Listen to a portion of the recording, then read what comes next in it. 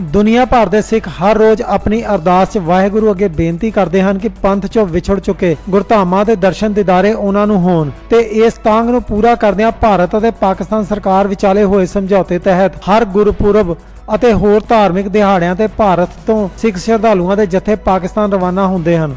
ਪਹਿਲੀ ਪਾਤਸ਼ਾਹੀ ਸਾਹਿਬ ਸ੍ਰੀ ਗੁਰੂ ਨਾਨਕ ਦੇਵ ਜੀ ਦਾ ਪ੍ਰਕਾਸ਼ ਪੁਰਬ ਉਹਨਾਂ ਦੇ ਜਨਮ ਸਥਾਨ ਨਨਕਾਣਾ ਸਾਹਿਬ, ਪਾਕਿਸਤਾਨ ਵਿਖੇ ਮਨਾਉਣ ਲਈ ਜਾਣ ਵਾਲੇ ਜਥੇ ਦੀ ਸੂਚੀ ਤੋਂ ਇਸ ਵਾਰ ਵੀ 51 ਸ਼ਰਧਾਲੂਆਂ ਦੇ ਨਾਮ ਪਾਕਿਸਤਾਨ ਸਫਾਰਤਖਾਨੇ ਵੱਲੋਂ ਕੱਟ ਦਿੱਤੇ ਗਏ ਹਨ, ਜਿਸ ਕਾਰਨ ਉੱਥੇ ਨਾ ਜਾਣ ਸਕਣ ਵਾਲੇ ਸ਼ਰਧਾਲੂਆਂ ਨੂੰ ਕਾਫੀ ਠੇਸ ਲੱਗੀ ਹੈ।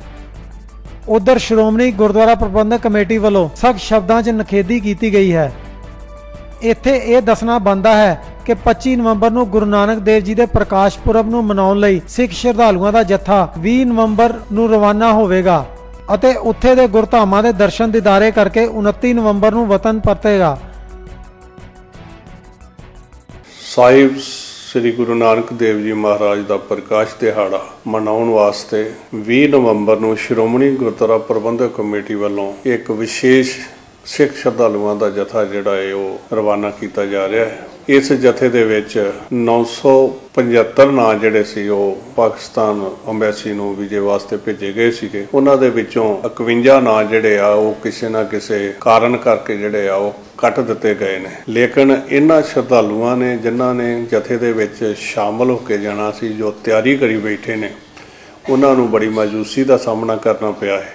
ਅਸੀਂ ਕਹਿੰਦੇ ਆ ਵੀ ਸਾਡਾ ਵੀਜ਼ਾ ਲੱਗ ਗਿਆ ਵਾ ਤੇ ਜਿਨ੍ਹਾਂ ਤੇ ਕੱਟੇ ਗਏ ਆ ਸਾਨੂੰ ਬਹੁਤ ਅਫਸੋਸ ਆ ਵੀ ਇਹ ਕ- ਕੱਟੇ ਨਹੀਂ ਜਾਣੇ ਚਾਹੀਦੇ। ਸਰਕਾਰ ਨੂੰ ਲਾਉਣੇ ਚਾਹੀਦੇ ਸਾਰਿਆਂ ਨੂੰ ਗੁਰੂਆਂ ਦੇ ਦਰਸ਼ਨ ਕਰਨਾ ਚਾਹੀਦਾ ਸੀ।